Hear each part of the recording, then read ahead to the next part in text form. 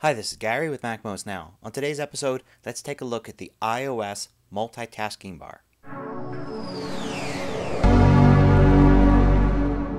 So I get the feeling a lot of iPhone and iPad users don't really know or use the multitasking bar, but it's a very important tool. You can use it to switch between apps, quit apps, control playback, use cool new features like AirPlay mirroring, and also do some other things. So let's go take a closer look at what the multitasking bar looks like in iOS 5. So to get to the multitasking bar, you want to double tap the home button. That's the physical button at the bottom of your iPhone. Double tap that and it pops up at the bottom there, pushing the rest of your screen upwards. Now, you've got here a list of your most recently run apps.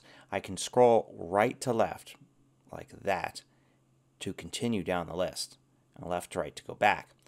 Now, keep in mind, these are not apps that are necessarily running. Matter of fact, it's possible to have quit an app and it still be listed here. These are just your most recently accessed apps.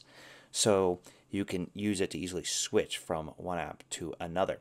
Now, you can use this to quit an app. The way you do that is you tap and hold over an app. So let's do that here for Safari. I'll just tap and hold. And you see they all start to jiggle. I can still go back and forth. And if I tap on the red button at the top, it will quit the app and remove it from the recents list. Now I can tap on the rest of the screen to exit this. I go back into it and I can continue to basically quit apps if I want. Clicking the home button just once will go back to normal mode. Now, if I scroll left to right one more time, I go to playback controls. And here I'll see the icon for the most recently used or the currently used uh, audio app. So you can see there it's my music app. It could be something else. Could be Audible, could be videos, could be all sorts of other things. And I've got some playback controls. I've got the name of the currently playing song or item at the bottom. And on the left, I have something different, not related to audio playback, I've got orientation lock, and I can lock to my current orientation, which can come in handy. If I go left to right again, I get to a volume control on the iPhone and the AirPlay control. The AirPlay control, this is the mirroring AirPlay control. So you'll find an AirPlay control, say, in the music app that will send audio to an AirPlay device, like an Airport Express or Apple TV. But here in the multitasking bar, it's for mirroring the entire screen. This only works in the iPhone 4S and the iPad 2. So here I've got several devices. Two are only audio, iPhone and Airport Express, but I have my Apple TV, and if I turned that on, it would mirror the screen of the, this iPhone to the Apple TV. Now on the iPad, it works pretty much the same way. Double tap the home button, and it brings up the multitasking bar. You can fit six icons here, and you can still scroll left and right like that. Now on the iPad, you can also do this in horizontal orientation. So you can see there you can fit even more. Still scroll left and right. Go back to vertical. Uh, you still can tap and hold and quit. You can go to the left and instead of two different screens for controls, you have everything on one. So you can see the app you're currently running, volume control. Um, you've got your AirPlay control here as before.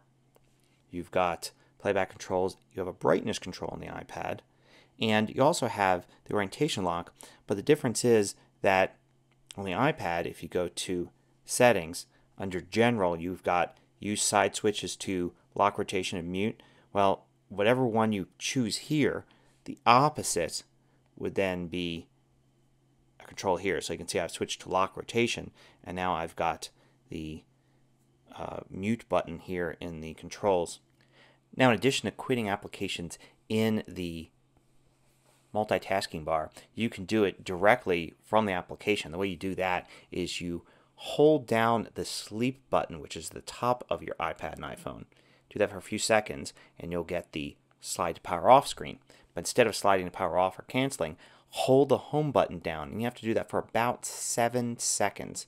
And at the end of that, it will just quit the currently running app and return it to, the screen. So now if I double tap, you can see Note is still there because it was a recently used app. Even though it's not running, it's still listed in the recents list because it's a list of recents, not a list of currently running apps. So there's a look at the iOS multitasking bar. Play around with it and get used to using it because it's a very useful tool that allows you to get more out of your iOS device. Till next time, this is Gary with MacMost Now.